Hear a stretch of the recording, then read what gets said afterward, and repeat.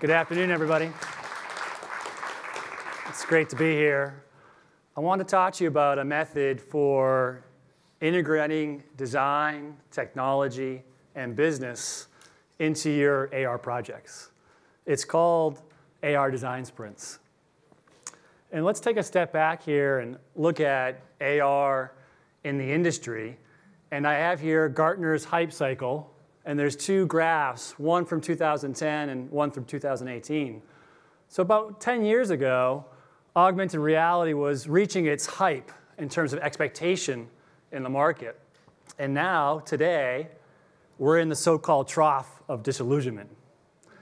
Eventually, we'll get to a place where the product becomes mature enough as a market, and there'll be a lot of opportunity and value that explodes around the world.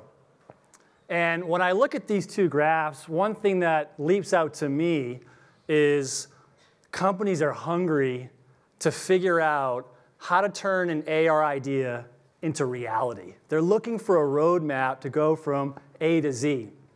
And in our work at PTC, we've worked with many industrial companies who are building augmented reality solutions. And when I look at that experience and the market, I see a number of paths that companies are taking. So one path is they identify an idea and they have a business case, but it doesn't go forward. It falls flat for some reason. Um, there's a shift in priorities. There's a lack of investment. They don't have the right skills and technologies to move forward. Now, the second path is they have an idea, they're fired up, they've got a business case, and they leap over to development. They skip the design stage. And there's a couple outcomes from that. One is it can work out, they could go to market. It might be costly, it might take a lot more time, or they end up not figuring out the right product fit for the market because they skipped key stages in the design stage where they looked at the problem, did some user research, did some prototyping. Another path is where they start off and they have an idea, and then they do a cursory, a cursory glance at design. They do a, a pit stop in that segment, and then they jump right into development. And again, having the same outcome where um, they might have to spend more time and money figuring out the product, prototyping with the software, instead of investing time early on in low fidelity prototyping, doing user research, and narrowing in on what the real problem is that they want to solve that will be valuable for the market. So the, the successful journey for companies is to go through all stages. And this is a really fascinating space to look at and unpack. One area that our team is really interested in is this transition from business idea to the creative stages of design and development. And we've been working on different techniques and uh, processes to take a team through those stages. And here we have the framework that we've come up with. We call it the AR creation process. It's a five phase model for taking a group from napkin idea to full on execution. And it has a trend of starting at strategy and getting into design and then building out the technology. And as we've worked on it, we've identified a number of activities that are really important to go through, certain milestones and deliverables. And as we've worked on refining the model, we've been looking for levers to crank on and, and help companies be more successful and be faster. And one area that's really interesting to us is in the early stages. We've been trying to figure out how can we get key stakeholders in the room, the product manager, the business owner, the lead designer, to come in and quickly come up with a strategy that takes in their perspective and rapidly start prototyping so that the team has a vision on where to go from product discovery all the way to application deployment. And we were familiar with the technique of running design sprints. And we started to dig in deeper. We read Jake Knapp's book uh, called Sprint, which is an excellent uh, read on the different methodologies that you can implement for design. And we started looking at design thinking principles and eventually, we landed on a method. And so here we have the generic view of a design sprint and the icons, and we aligned it to the early stages of the creation process, product discovery and preliminary design. And we started running the sprints, and we started learning, and we started identifying activities that are relevant for AR projects, which are highlighted here in red. And I'm going to talk about them a little bit more uh, further on in this talk. But let's shift gears and look at what a sprint, uh, how a sprint goes down. So uh, when we run a sprint, at PTC, it's typically about two or three days. And you want about five to seven people in the room, and you're looking to have engineers, designers, and business owners in that workshop, and as well, people who are familiar with the customer and their experience. And the way it goes down in terms of the different activities you go through is on day one in the morning, you identify your goals, and you jump into the research stage where you start unpacking the use case. What's the product that you're looking at? What's the experience you're looking at? Who's the user? What are the different needs we have from a business model perspective? Eventually, you start unpacking that problem and you target your target user and you map out their journey. So in this example here, we worked on a case where it was a service technician coming into a unit and had to do some kind of repair. And uh, we mapped out uh, Tanya, the technician's experience along these different phases here, which became um, the overarching view of our problem. And so then you jump in and you start brainstorming ideas. You go from a divergent process of generating concepts to a convergence process of narrowing down on a specific, uh, uh, narrowing down to a specific set of candidates. And there's a number of ways to do that through sketching, dis discussion, and brainstorming. Ultimately, you land on a series of sketches that illustrate out the user experience.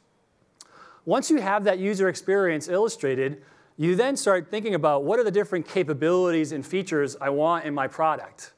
And once you have those identified, then you start building prototypes. And we provide different techniques that you can do within two or three days through sketching and using uh, low fidelity digital tools to create a, a, prototype that you can test and validate with your users and inform future development stages in that creative process.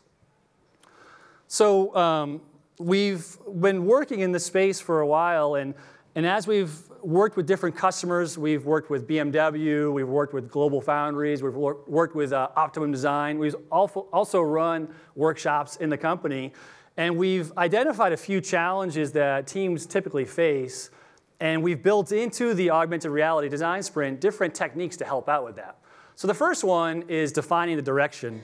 Um, we work with hardware companies and software companies, and um, they don't have a lot of experience with augmented reality. And so they don't even know how to get started. They're not sure what the first steps are. And so in the sprint, one of the first things we do is we share with them this AR creation process, and we do that by sharing a couple case studies. And in those case studies, we say, here are common people you want to have at these stages. This is the, the skills you need. And here's what it looks like if you do a project at this level, at a proof of concept, or at a production level. It takes this much time, and this is how big your team should be. And what that does is it orients the team around kind of a meta level view of where am I going to go from here to there, and what does it take to be successful? Once, another technique that we do is we built out this uh, tool called an AR blueprint. It's a project planning tool to identify the different components of a product that you're going to build. And it's a really helpful tool to bring early on in the design sprint process because one, it helps get people aligned on prior conversations. So in discussions around uh, business uh, models or picking technology, some initial ideas have already been selected, and you can map that down on this uh, diagram here. Or two, it's also helpful in identifying gaps. You might not have thought about what your data strategy is. You might not have thought about what your device paradigm you might not have thought about what documentation need, you need to be successful. And so the blueprint becomes this architectural plan for your project. And throughout the sprint, what we do is we come back to it and update it based on our learnings and also use it as a guiding light to make sure we're going in the right direction. Now, the second challenge is envisioning the experience. Um, it's very, uh, you know, we as people have a tendency to uh, look for solutions right away, and we, we love to brainstorm ideas. Um, we're not so disciplined with the process of unpacking a problem and investigating all the different opportunities that could lead to a solution. And so we use design thinking strategies to bring in a disciplined approach to have a deep insights onto the problem. So we use different techniques. Um, here's a simple one. I have that previous uh, user journey up here on the, on the slide. And um, when we started brainstorming uh, with our teams, we noticed there was a trend that they were hyper-focused on augmented reality solutions. And we did a simple switch we gave them two colored sticky notes, one for AR ideas and one for non-AR ideas. And what ended up happening is as, as they were brainstorming one idea per sticky note, you started to get this kind of heat map of opportunity for augmented reality. And for some people in the room, that was an aha moment. They're like, oh, wait, I don't need to use AR everywhere. Maybe it's not re relevant for scheduling an event, but it sure is relevant when I'm getting on site and maybe I want to visualize data in augmented reality. Or maybe it's really relevant when I'm servicing the equipment and I'm looking for visual instructions on a, how to carry out that procedure. Another technique we use is storyboarding. This comes out of the filming industry. It's a visual tool to outline the, the plot and it's a great tool for augmented reality design, especially for low fidelity uh, purposes.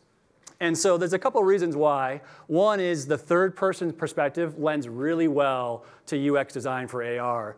As you know, when you work in an AR experience, you have the user, you have the device they're operating on, whether it's handheld or eyewear, and then there's the physical setting they're in with the machine that they're interacting with or the space they're interacting with. And so that third person perspective provides the team a view to see how those interactions happen.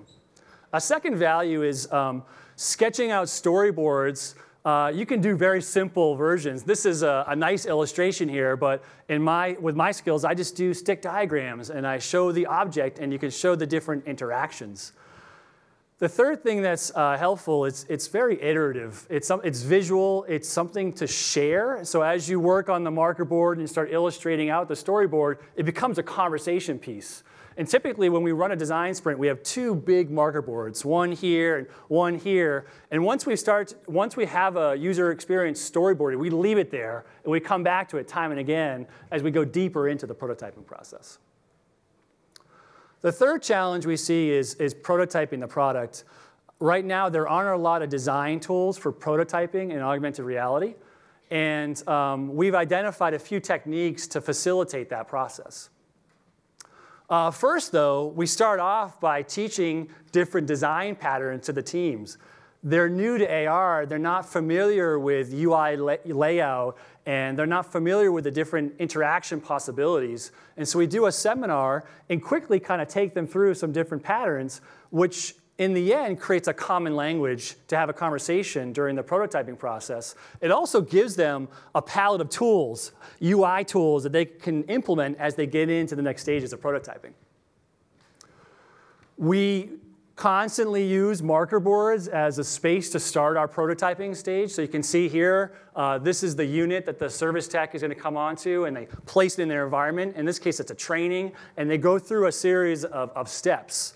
Uh, sketching is really useful, and you can use color for highlighting. There's all sorts of techniques that any illustrator can do or a non-illustrator like myself. Now, we have noticed that when you're in the sprint, it is helpful to have a visual designer because they can quickly create high render depictions, and that creates an accurate depiction of where you want to take the UI lay layout. So if you're looking for an investment for an AR design sprint, look for visual designers. They're excellent to have in the room for that. Another prototyping technique we do is uh, using PowerPoint or Keynote. Uh, it's a really simple tool to create a UI in that you can take a, a, a, photo of the environment that you're working in, or you can take a screen grab of the CAD model that you're working on, and you can paste it onto the slide, and then you just copy and paste and make a bunch of them, and add in the different UI elements, just using simple boxes and text. And in PowerPoint, uh, which I use, there's different uh, techniques to use hyperlinking and animation, so they actually make it interactive.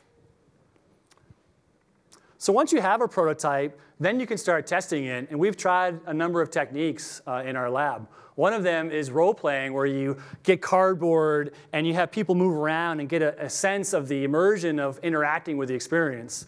We also use PowerPoint and have people walk through and do a guided experience. And we've also dabbled with virtual reality.